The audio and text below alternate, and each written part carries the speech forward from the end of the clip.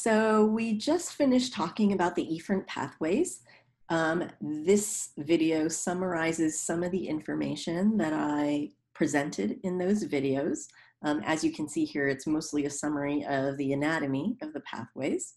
Um, I want to remind you the efferent division consists of two portions, the somatic motor system and then the autonomic nervous system. Um, the circuitry of the somatic motor pathway is shown here. We have one neuron going from the CNS, the central nervous system, to the target, which is skeletal muscle. Um, we use acetylcholine as our neurotransmitter, and that neurotransmitter is going to bind to nicotinic receptors on our target, which again is skeletal muscle. Okay, so just a reminder, somatic motor pathway controls our voluntary uh, muscle movements through skeletal muscle as its target, okay?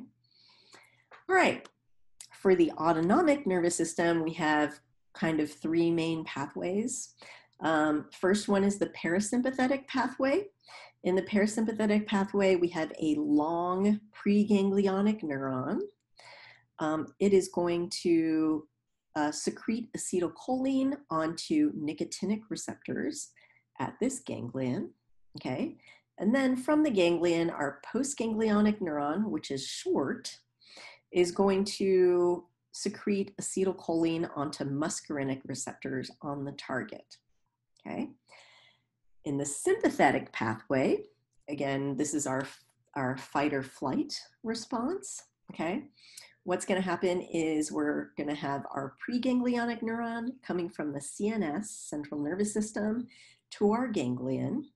At the ganglion, we're going to secrete acetylcholine onto nicotinic receptors, same as what we had up here in the parasympathetic pathway.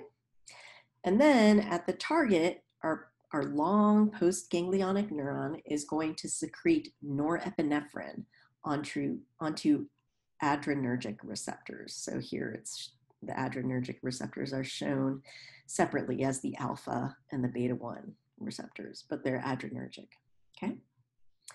And then finally, in our modified, uh, uh, modified sympathetic pathway, um, we use the adrenal gland here, right? So this is the adrenal sympathetic pathway.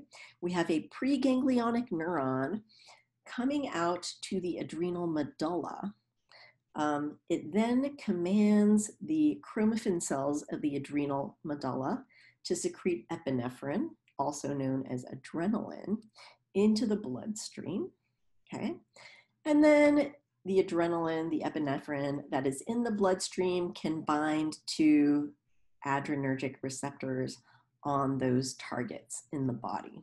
Okay, so I want to remind you that, um, well, I haven't spent that much, I haven't emphasized the targets that much, but I want to remind you that the autonomic nervous system is responsible for our sort of um, internal, regulating our internal state. So these are going to be the targets. It's going to be smooth muscle, cardiac muscle, uh, various glands in our bodies, in our, and adipose tissue, okay? All right, finally, I just want to point out to you that we have this table in our textbook, which kind of summarizes again all of the information, not all of it, but much of the information that I've given you about the efferent pathways. Um, okay, thank you for watching. Goodbye.